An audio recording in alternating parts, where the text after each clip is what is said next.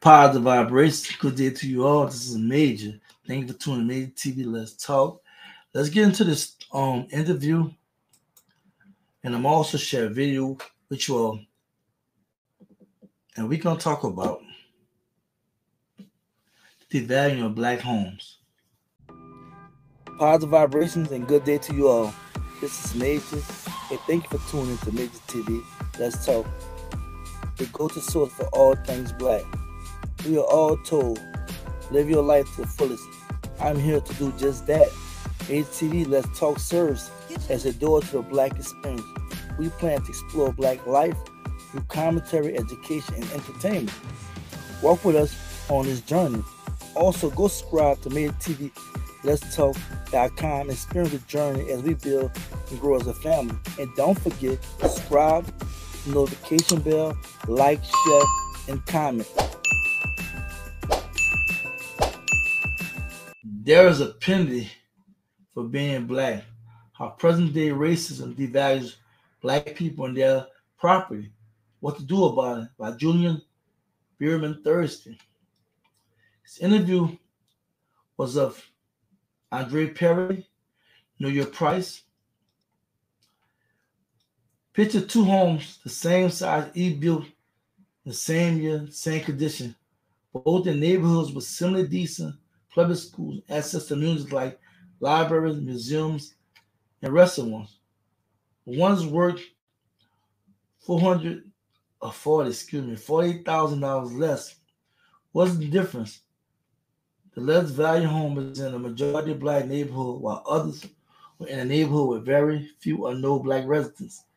This is one of the findings from research co-authored by Andre Perry, a senior fellow a senior fellow at the Brookings Institute. For years, the impact of central discrimination on Black Americans' ability to build wealth through one of the most reliable pathways to wealth building for white Americans' ownership has been clear. But was Perry's research so interesting that he controls for those factors? For example, lower wealth black communities mean that the housing stock often isn't as good and public schools have less funding. Still find that homes in majority of black communities aren't worth as much as those where there are very few black people. That to Perry is evidence that it's just not about, it's just not, it's not just past that explain the racial gap, racial financial gap. Reason D is also contributing. He promised to 20, he promised to 2021 research from Freddie Mac indicating that homes in majority minority neighborhoods are more likely than those in white majority white neighborhoods to receive appraisals that are below price that buyers and sellers agree on. But he finds evidence in other areas of the housing market and other areas as well. Perry expanded his 2018 research into a book, Know Your Price, Valuing Black Lives and Property in America's Black Cities, published in 2020. Margaret Watts spoke with Perry about his research, the role of debt, excuse me, the role of debt in devaluing black property, true indications of a power shift the Constitution has been edited and condensed. Margaret White, let's start with the book. In the title, you talk about the idea of black lives and property. A lot of people are familiar with the concept of Black Lives Matter in the, in the movement. But what is it? What is what is it important to consider the value of black people when you're talking about that issue? Perry, we found that homes in black Neighborhoods underpriced by 23%, about $48,000 per home. Cumulatively, that's about 150 billion in lost equity. That's a concrete material loss that people living in black communities grapple with. But also a metaphor how we are valued overall. Our lives are more much more valuable than we are priced, so to speak. When I wrote the book, I certainly wanted to build up on working on housing. It's more about getting us to see that it's not people, that it's not black people that are fought for the state of our communities and our lives.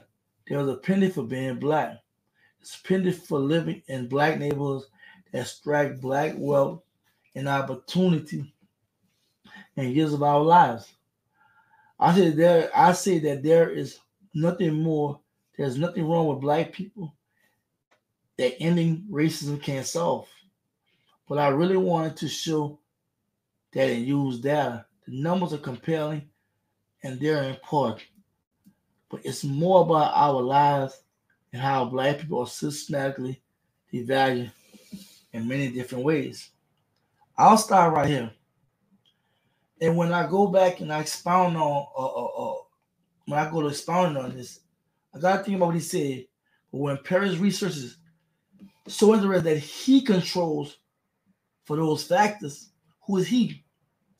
For example, lower wealth in black communities. Why lower wealth in black communities? Meaning that the housing stock often isn't as good. The public schools have less funding. Why is that? And still find that homes, majority black communities are, aren't worth as much as those where there are very few black people. Why? Um, he also said we found that black neighborhoods are underpriced by 23, 23%, about 48,000 per home. Cumulatively, that's about 150 billion in lost equity. Wow. Um, he also said there is no there is a penny for being black. There is a penny for living in black neighborhoods that extract wealth, opportunity, in years of our lives. Look, what this brother's talking about in the interview, I'm gonna break it down. He talks about redlining. He's talking about predatory lending. He talks about racism and discrimination. And he lay out, not just in words, historical data, research. In his in his video I'm about to drop, about the infamous couple that was discriminated against as far as when their house was in prison in California. He's in um, this video. And when he said know your price, that's what he means. Know your price. Know the value of your home. Because they would under they would underpraise your home. We know about the movie that came out um on Prime, Prime Video, Amazon talking about this couple in a white neighborhood and how they was um charging them higher for the house, interest in what have you. We know what happened in Chicago. Um, when redlining was really defined, um, on the white side of the track, home was significantly sold for less. On the black side of the track, sold higher. There was so much historical data, and I gotta shout out this brother for even um doing what he did because it's always important that we have brothers and sisters that gonna write about it, talk about it, and be about it. And I have to get this book because we deal with every form of racism and discrimination that people don't want to talk about, that people don't want to look at. And we as a people, even identifying it's hard for us to even fathom fighting back, but there are ways. But if we're not reading, we're not becoming informed, we're not coming together, become more self-determined. Because our community, when you we talk about the homes issues, the poor homes, the poor schools, funding, um, everything. we shown we still codependent on the system. We are taxpayers, and I do believe that you should address the Macaulay. In my opinion, everybody on grooming, that's cool. but we should be more self-determined. And all this just is triggers. All this is just things to just open eyes and see that we have to do something. All this fighting, all this confusion, all this who won't leave, who won't do this. We have so many problems that we have to focus on. And we know one thing owning a home, and I'm a homeowner, is one of the biggest assets you can control, um, build, and become wealthy and create generational wealth. And it's just another story and tell of how black people have to overcome, even though we know about the racial um financial gap. We know about how it was created and so forth. So on. If you don't, you need to definitely um definitely read about it, research on it. But even now it's still going on. But I had to um read this to you. I had to share this with you. Um, I stumbled across it, and I went back to this old story. Or uh, old story. I think last year would have you where a white lady undervalued a black couple property. They got a white woman to pose like um she lived there and they redecorated and whatnot. And another white lady come in there and it praised it like 1.4 million of value of the home. But when the black people did it, it was like 900, 980 um K or something like that. So um thank you for checking this video out. I will be bringing more content like this. Y'all like and share this video. Like and share this video. If you're new to the channel, hit the subscription button. Hit the notification bell if you want to catch content daily or oftenly. Um, I will share this video in closing about this couple. If you're not, um, if you're not aware, this really happened to somebody. Before I say that, I gotta say something.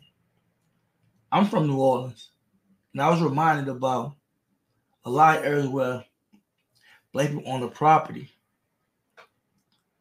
especially on the Bob Water area next to the French Quarter in New Orleans. If anybody knows familiar, we'd have been down there. One time, black people on that, it was 200, 300,000, what have you, at the time. Probably less. One black people on it, one's white on it, or it's about a million dollars now. And they call it whitewashing. Undervalue us, overvalue whites. And this justification that's going on around the country, all these urban areas, is an example there. But let me share this video with you all before I leave. Thank you for your love and support.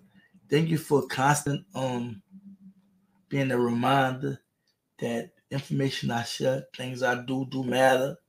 And thank you how you contribute with what you know.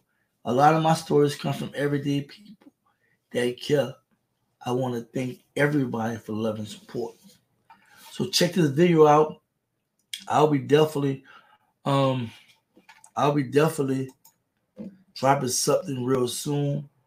I have a number of things I want to do, and I want you all to definitely realize they're gonna take a us movement, we the people movement, to actually get the job done. We have to become self-determination. Check this video out. I'll be speaking to y'all soon. Y'all stay focused, stay on cold, just be black. Peace. It's a part of American real estate that is immoral and racist. It's called whitewashing. It's a process where African Americans may get a higher value on their property when they remove themselves entirely from the selling process. CNN's Joe Johns with more on what happened to one couple in San Francisco. Tenisha and Paul Austin bought their home in the Marin City area of Northern California in 2016. It came with a coveted view of the bay, but a long to do list. It just needed a lot of work. Um, but we was up to the task. And their work paid off, or so they thought. According to court documents, the Austins added a deck, a gas fireplace, and additional living space. In January of 2020, with the build out almost finished, they decided to refinance and take some cash out of the property. They got an appraisal. It was right before COVID hit, so the the the rates were extremely low. So we were trying to refinance to take advantage of the low rates. And to their surprise, the appraiser wrote in her report that the house was only worth $995,000. We were sick, sick to our stomach. We was upset. We was angered. I was disappointed because one, I knew that the house was worth more than that. And secondly, because we needed the house to appraise for a certain amount um, in order for us to be able to um, pull out the capital in it. And when it didn't come in at that, it was devastating. They suspected that the seeming lowball valuation from an appraiser who happened to be a white woman may have had something to do with their race or their location or both. Marin City has a sizable African American population, unlike Marin County, which is mostly white. She uh, considered us living in Marin City and devalued our home based off of that. Yeah, Um, and saw blackface. So they decided to put their suspicions to a test. They requested yet another appraisal and got a female friend who was white to come to the house to meet the appraiser to make it look like this was her house. I contacted her and I said, um, "We have another. Our, our appraisal came in low. We have another appraiser coming. Can you come and be me?" But that's not all they did. They also removed any evidence that black people even lived there, a process that's been called whitewashing. Took down everything that resembled that this home belonged to us. Yeah, or to an African American family. Art, pictures. Even I would say, even my hair products, I put them away um, so that um, someone would be tipped off by them. A different appraiser, also a white woman, according to the Austins, who visited the house in February of 2020, came back with a valuation of more than $1,482,500, an appraisal 49% higher than the previous one.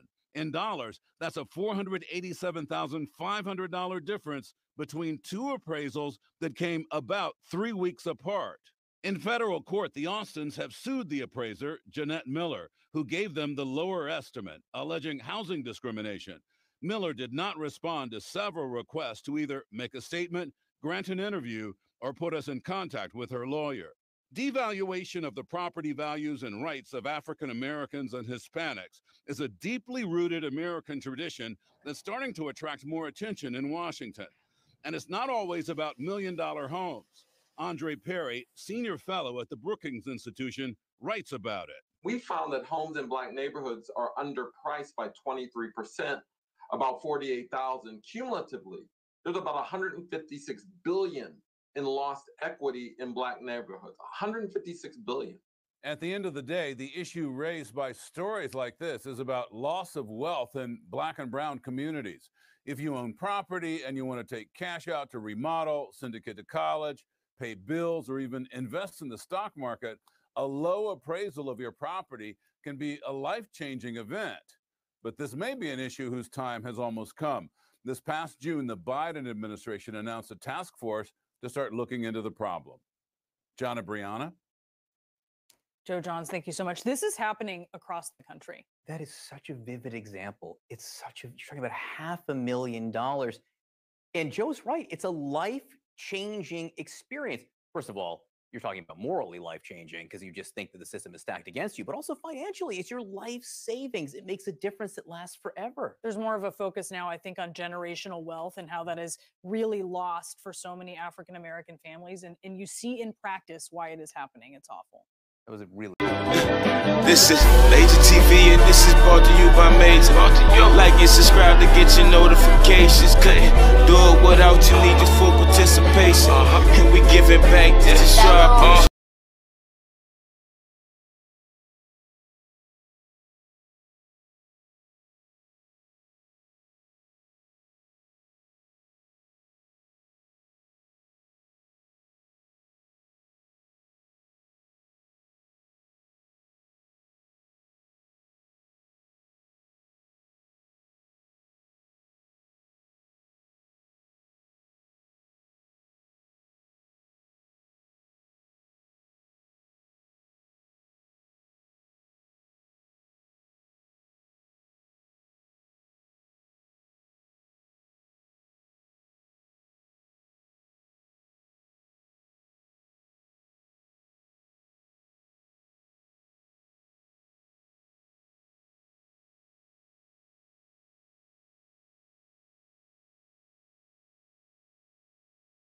This is Major TV and this is brought to you by Major. Like and subscribe to get your notifications. Couldn't do it without you, need your full participation. Uh-huh. And we giving back this is show our appreciation. Tune